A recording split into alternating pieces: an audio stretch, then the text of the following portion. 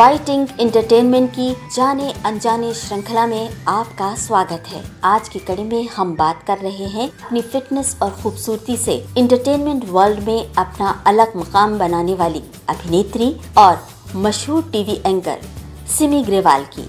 17 अक्टूबर 1947 को पंजाब के मुक्सर में जन्मी सिमी ग्रेवाल का पालन पोषण इंग्लैंड में हुआ। उनकी पढ़ाई लिखाई न्यूलैंड हाउस स्कूल में बहन अमृता के साथ हुई। इसके बाद वो भारत आ गईं। सिमी ग्रेवाल के दादा एक कैप्टन और बड़े योद्धा थे। क्वीन विक्टोरिया ने उन्हें अपने हाथों से एक तलवार भेंट की थी। सिमी के पिता इंडियन आर्मी में थे। पाँच साल की उम्र में सिमी ने जब राज कपूर की फ़िल्म आवारा देखी, उसी वक्त मन बना लिया था। कि वो फ़िल्मों में जाएँगी। माता पिता इस बात से नाराज़ हुए, लेकिन सिमी की जिद के आगे उन्हें हार माननी पड़ी।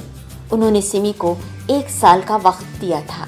फ़िल्मों में उनकी शुरुआत उन्नीस सौ बासठ में अंग्रेज़ी भाषा की फ़िल्म टार्जन गोज टू इंडिया से हुई।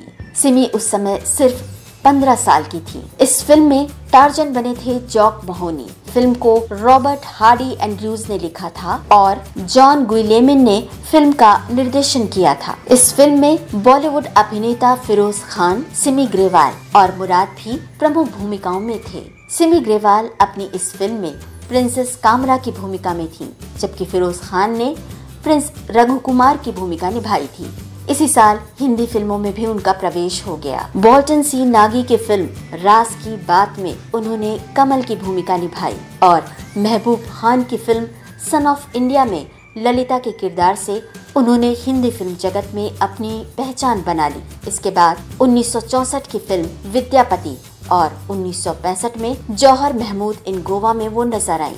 1965 में देवानंद के साथ फ़िल्म तीन देवियाँ उनके फिल्मी करियर के लिए अहम साबित हुई। सिमी ग्रेवाल ने ज़्यादातर फ़िल्मों में भले ही सहायक अभिनेत्री का किरदार निभाया हो, लेकिन उनके अभिनय और उनके किरदार को हमेशा नोटिस किया गया। फ़िल्म दो बदन की डॉक्टर अंजलि, फ़िल्म आदमी में आरती, फ़िल्म साथी में रजनी और मेरा नाम जोकर, फ़िल्म की मैरी का किरदार भला कौन भूल सकता है? फ़िल्म दो बदन और साथी में अभिनय के लिए उन्हें सर्वश्रेष्ठ सहायक अभिनेत्री का फ़िल्म फेयर अवार्ड भी मिला था। राज कपूर की फ़िल्म मेरा नाम जोकर में, वो ऋषि कपूर के साथ लीड पेयर के रूप में दिखी थी। ऋषि कपूर ने इस फ़िल्म में राज कपूर की टीनेजर भूमिका निभाई थी। सिमी ने इस फ़िल्म में काफ़ी बोल्ड सीन किए थे। शशि कपूर के साथ उनकी फ़िल्म सिद्धार्थ भी काफ़ी चर्चा में रही। इसी नाम के अमेरिकन नॉवल पर आधारित इस फ़िल्म का निर्देशन अमेरिका के मशहूर लेखक, निर्माता, निर्देशक कॉनार्ड रूक्स ने किया था। कमला के किरदार में सिमी ग्रेवाल के बोल्ड दृश्यों को लेकर भारतीय सेंसर बोर्ड ने कड़ा रुख अख्तियार किया था। 1976 में सिमी ग्रेवाल फ़िल्म चलते चलते में अभिनेता विशाल आनंद के साथ मुख्य भूमिका में दिखाई दी। विशाल आनंद इस फ़िल्म के प्रोड्यूसर भी थे। इसी साल उन्होंने अपने जीजा यश चोपड़ा की हिट फ़िल्म कभी कभी में भी काम किया था। उन्नीस सौ नवासी में जीपी सिप्पी की फ़िल्म एहसास में वो एक बार फिर शशि कपूर के साथ नज़र आई। 1980 की फ़िल्म कर्ज में उन्हें नेगेटिव रोल के बावजूद बहुत पसंद किया गया और फ़िल्म फेयर के सर्वश्रेष्ठ सहायक अभिनेत्री पुरस्कार के लिए नॉमिनेट भी किया गया। 1980 की शुरुआत में सिमी ग्रेवाल ने लेखन और निर्देशन के क्षेत्र में भी कदम रखा। उन्होंने अपनी खुद की प्रोडक्शन कंपनी बनाई, जिसमें उन्होंने दूरदर्शन के लिए एक टीवी सीरीज़ का निर्देशन, निर्माण और लेखन किया।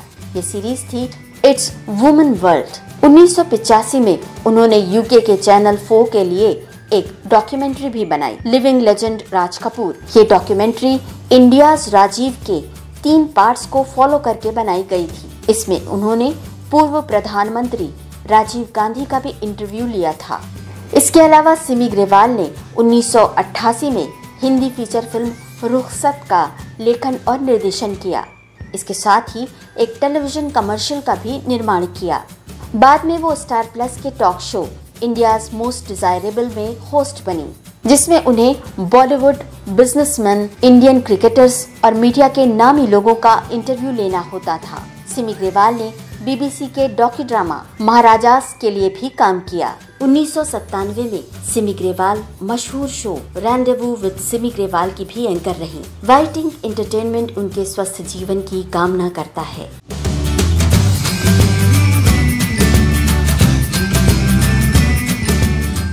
जाने अनजाने श्रृंखला आपको कैसी लग रही है, हमें ज़रूर बताइए। और हाँ अगर आपने अभी तक YouTube channel white ink entertainment को सब्सक्राइब नहीं किया है तो आपसे अनुरोध है, इसे सब्सक्राइब करें, लाइक करें और कमेंट्स भी दें। धन्यवाद। देखते रहिए व्हाइट इंक एंटरटेनमेंट